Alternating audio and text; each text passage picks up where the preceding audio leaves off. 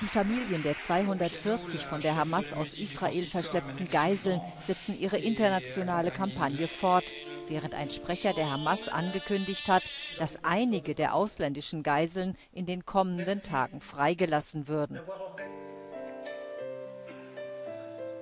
ووصلتنا طلبات هذه الدول وبالتالي فإننا أبلغنا الوسطاء بأننا سنفرج عن عدد من الأجانب خلال الأيام القادمة انسجاما مع موقفنا الذي أعلناه مبكرا عن عدم رغبتنا ولا حاجتنا للاحتفاظ بهم أو استمرار احتجازهم في غزة Die Familien der Verschleppten versuchen weiterhin, die Welt aufzurütteln.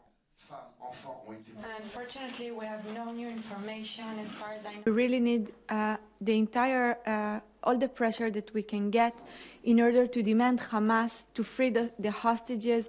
There, uh, it, it makes no sense to live in a world when people get kidnapped from their beds, when people get kidnapped just uh, by going to a party. Israels Armee gibt die Zahl der von der Hamas nach Gaza verschleppten Geiseln mit 240 an. Fünf sind bisher befreit worden.